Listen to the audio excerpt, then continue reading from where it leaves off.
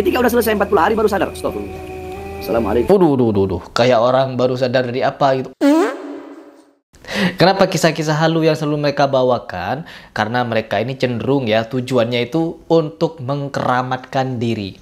Atau kalau bukan untuk mengkeramatkan diri, untuk mengkeramatkan sesepuh mereka atau kakek moyang mereka. Oke, tidak perlu panjang lebar. Di video ini saya akan membahas atau bereaction videonya Kang Bahar Semit yang berpidato tentang tentang salah satu habib atau salah satu wali yang fana ketika sholat subuh sampai 40 hari teman-teman.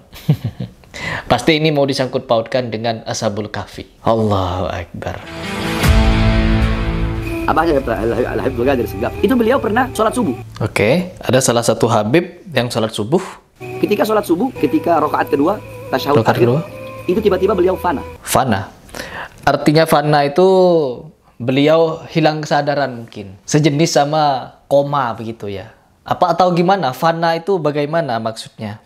Kalau kita mau merujuk atau mengambil istilah fana di dalam literatur Islam, teman-teman, fana itu artinya rusak atau lenyap di dalam literatur Islam. Jadi fana yang dimaksud itu yang bagaimana? ya, apakah fana-fana itu termasuk tenggelam gitu ya? Karam. Kalau kata siapa namanya? Muhibbinnya guru kumpul karam ya. Karam itu kan tenggelam tapi diartikan sama mereka tenggelam dalam tauhid atau apalah begitu. Kewalian lah intinya. Jadi fana menurut Kang Bahar adalah bukan rusak atau lenyap ya. Tapi fana itu mungkin sama seperti karam lah. Begitu. Lanjut dulu. Jadi lagi lagi lagi lagi tasyahud akhir gitu. Tiba-tiba fana. Oh tiba-tiba fana. Itu dia fana teman-teman. Hilang kesadaran tenggelam gitu lenyap kan kalau di dalam literatur bahasa fana itu artinya lenyap atau rusak atau fana yang dimaksud bagaimana ya komentar di bawah teman-teman Diam. Lupa segala-galanya. Saking oh diem itu lupa segala-segalanya teman-teman saking nikmatnya ya saking nikmatnya lupa segalanya berhadapan dengan Allah. itu ngerokok tuh gak bisa berhenti ya Pak Kang Bahar ini ya. Kang Bahar juga pernah cerita kepada kita ya. Ketika di salah satu podcast dia tidak pernah bermimpi dengan Nabi. Ya, tidak pernah bermimpi Nabi dikarenakan dia masih cinta hal-hal yang dibenci Nabi. Hal-hal makruh, yaitu rokok. Jadi, kapan dia mau jadi wali? Apakah Kang Bahar tidak punya cita-cita jadi wali? Seperti ini nih. Siapa ini namanya? Hani Asegaf. Apa gak punya cita-cita seperti Hani Asegaf menjadi wali? Kenapa Kang? Gak mau mimpi bertemu Nabi?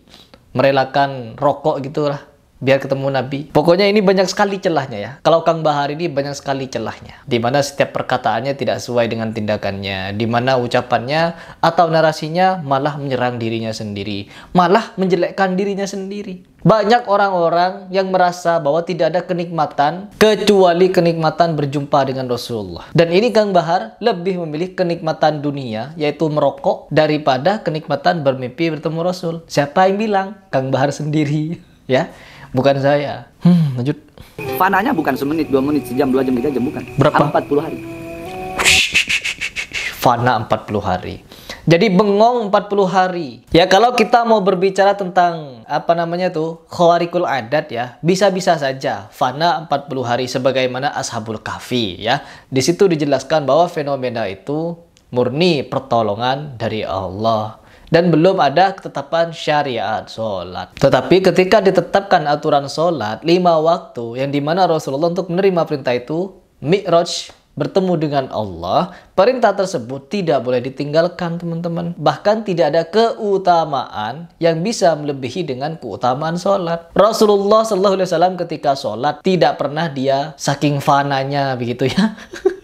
ya, Nabi Muhammad tidak pernah sefana itu ketika sholat langsung tenggelam 40 hari berdiri tegak sholat subuh. No, tidak ada riwayatnya. Entah itu khulafur rasyidin, orang-orang soleh terdahulu, para sahabat umat terbaik, tabi'in, tabi'ut tabi'in, sampai ke empat imam mazhab, belum ada kisah-kisah bahwa Imam Syafi'i sholat fana. Ini kata Imam Syafi'i. Kalau kita belajar ilmu tasawuf tanpa belajar fiqih, maka jadinya seperti ini. Dungu kita teman-teman. Orang fana 40 hari kita percayai teman-teman. Sedangkan Nabi Muhammad sampai bengkak kakinya gak fana-fana. Apakah Nabi Muhammad tidak sefana wali ini teman-teman? Tentunya kalau kita ingin menimbang segala sesuatu, maka timbanglah dengan Quran dan hadis. Hadis itu siapa? Berkiblat dengan Nabi Muhammad langsung. Kalau ada cerita-cerita model seperti ini dan kita tidak menjumpai itu pada orang-orang soleh terdahulu, orang-orang terbaik dahulu, umat-umat terbaik terdahulu, maka jangan dipercayai. Kalau Kang Bahar bercerita ini mengajak kalian untuk percaya, saya mengajak kalian untuk tidak percaya. Kenapa saya mengajak kalian untuk tidak percaya? Karena cerita seperti ini hanya terjadi di kalangan habaib, di kalangan nabi, di kalangan para sahabat, di kalangan tabi'in, tabiut tabi'in, sampai kepada imam mazhab tidak ada yang sedemikian teman-teman ketika sholat. Bahkan ketika berperang pun para sahabat masih sholat. Apalagi sampai fana-fanaan seperti ini. Oke lanjut. Ya Allah, Kang Bahar, ya Allah. Ketika udah selesai 40 hari baru sadar. Astagfirullah. Assalamualaikum. Waduh, waduh, waduh, Kayak orang baru sadar dari apa gitu. Astagfirullah. Ini kok udah masuk waktu duha ya? Jadi beliau nyangka kelewatannya itu hanya beberapa jam. Jadi lewatnya itu hanya beberapa jam ya teman-teman, bukan beberapa tahun, bukan beberapa bulan atau hari. Abah kelewatan, Abah fana bukan hanya beberapa jam, tapi udah 40 hari. Astagfirullah. Akhirnya? Oh. Beliau mengkodok sholat selama 40 hari itu. Kadang ceramah-ceramah seperti ini tuh bikin puyeng teman-teman. Ya, bikin puyeng kita. Kenapa bikin puyeng? Karena ceritanya tuh susah dibuat masuk ke nalar. Tapi dipaksakan untuk masuk nalar dengan khawarikul adat tadi. Dengan kejadian yang luar biasa.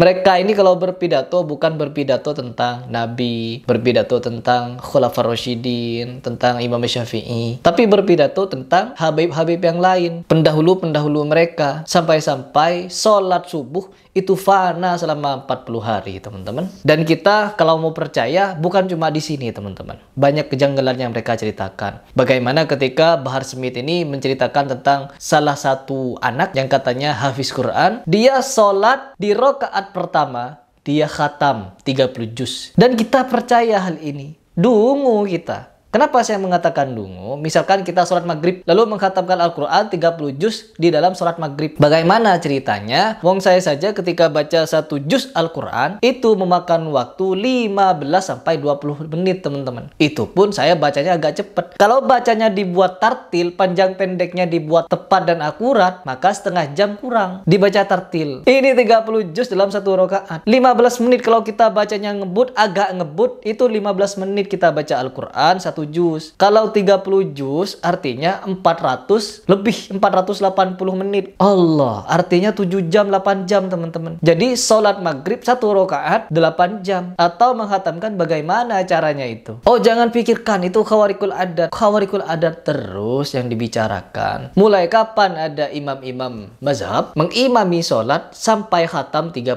juz. Gak ada kisahnya. Yang ada cuma di kalangan habaib ini. Dan kisah seperti ini dipercaya, maka kita dungu teman-teman. Nabi Muhammad saja hanya beberapa surat yang dibacakan. Para sahabat pun demikian. Para khalifah Rasyidin begitu pun demikian ketika sholat. Hanya beberapa surat, kadang hanya beberapa ayat yang dibaca. Oh enggak, kalau para habaib yang jadi wali bisa 30 juz dalam satu rakaat. Kalau dua rakaat artinya dua kali khatam. Artinya sholat 16 jam.